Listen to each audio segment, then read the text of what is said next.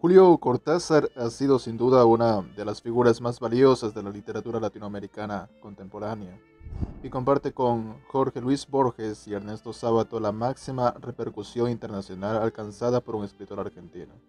La obra que lo consagró definitivamente fue Rayuela, novela publicada en 1963, que interviene junto con ficciones de Borges, El astillero de Onetti, Pedro Páramo de Rulfo, El siglo de las luces de Carpentier, Cien años de soledad de García Márquez y La Casa Verde de Vargas Llosa. Nace en 1914, justo en el inicio de la Primera Guerra Mundial. En el caso de Julio Cortázar, nació, ya decía, en 1914 y llegó a 1984. Asimismo de enigmático su, año de muerte, em, precisamente por lo que entraña 1984. En ese sentido, quería hablar en esta ocasión no de Rayuela, sino más bien de, mm, de las primeras antologías de cuentos, o al menos la primera en la cual se puede ubicar cronológicamente, que es La otra orilla.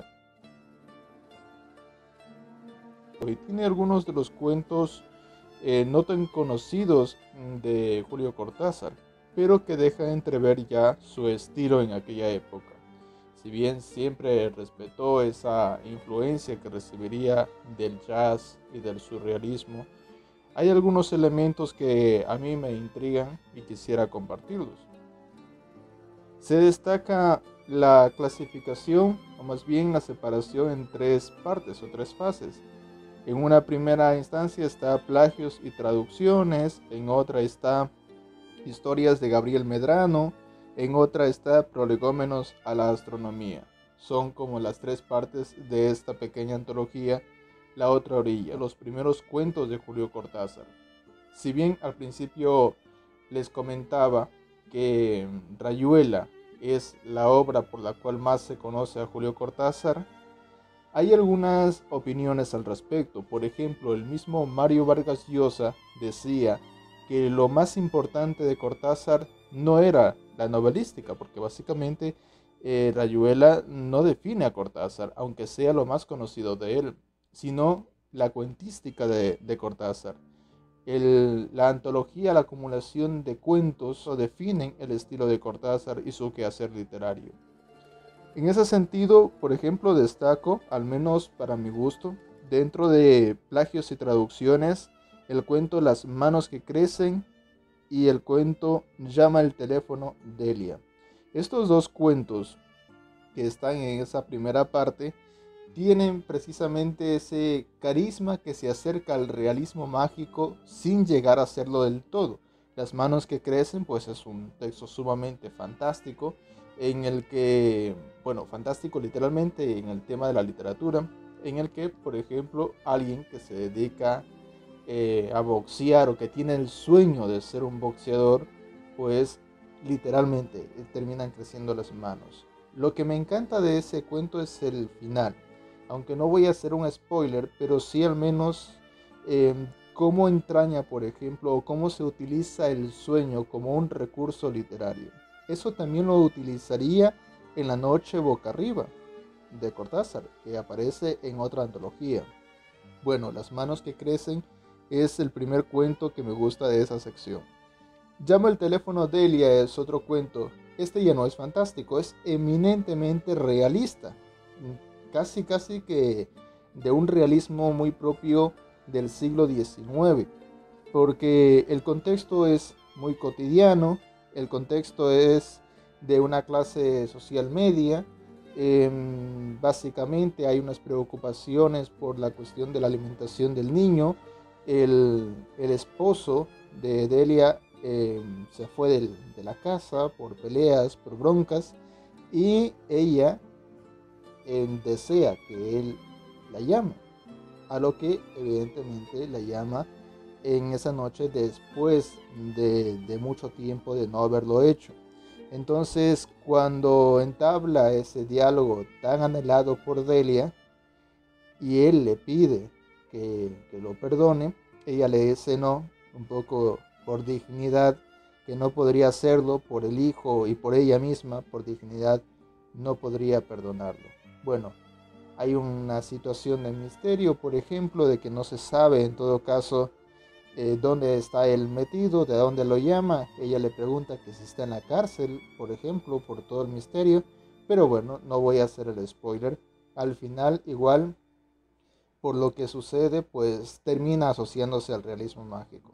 En la siguiente fase está Historias de Gabriel Medrano. En ese sentido, por ejemplo, destacan dos cuentos, Bruja y Distante Espejo. En el cuento Bruja, el personaje principal es Paula. Y aquí es interesante porque básicamente es como cómo se haría realidad todo aquello que nosotros deseamos. Casi siempre tenemos la utopía, el sueño enigmático de que qué pasaría, por ejemplo, si tuviésemos todo aquello que deseamos. Pues Paula, que es una bruja, empieza deseando unos chocolates y termina en este caso con base a sus deseos pues teniendo todo aquello que una persona eh, común y corriente desearía, todo, todo lo que desearía. Y bueno, en ese sentido es uno de los cuentos que más me agradan de esta fase. Y el otro es Distante Espejo.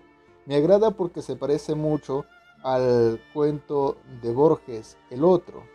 En ese cuento, el otro de Borges, el mismo autor se encuentra con él mismo en escenarios y en épocas, bueno, en época, de épocas distintas en un mismo escenario, en una misma situación. Distante espejo es casi como, como un reflejo de ese cuento borgiano. ¿Por qué?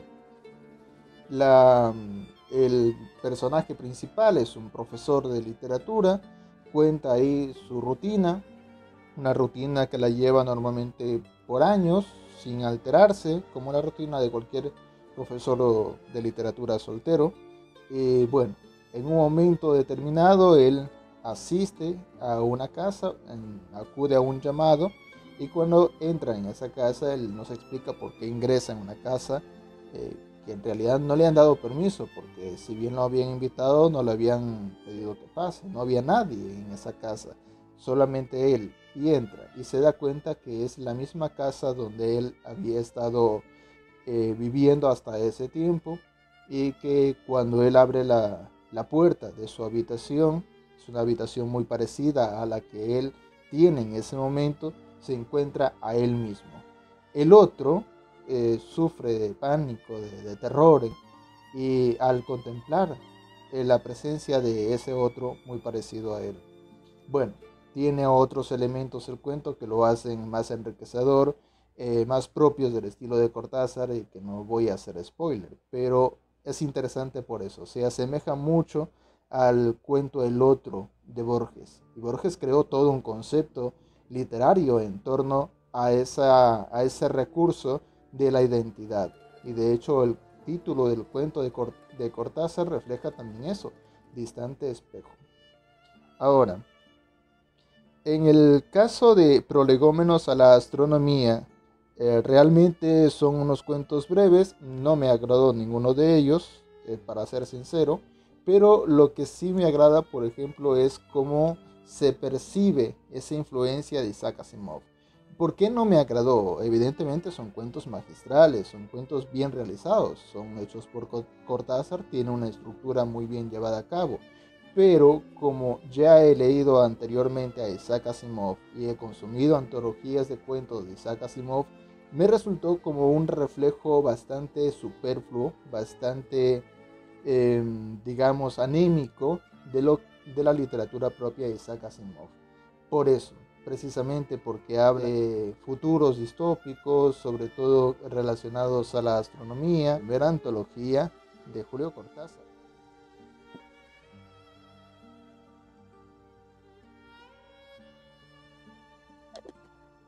mucho tiempo Mario Vargas Llosa había descrito la casa en que tú vivías en París, una casa decía él que era alta y angosta como tú, atiborrada de libros y con una especie de pizarrón lleno de lo, de lo insólito cotidiano que tú recortas de periódicos y revistas, de, de cosas que te llaman la atención y que tienes ahí un poco delante de tus ojos, ¿no?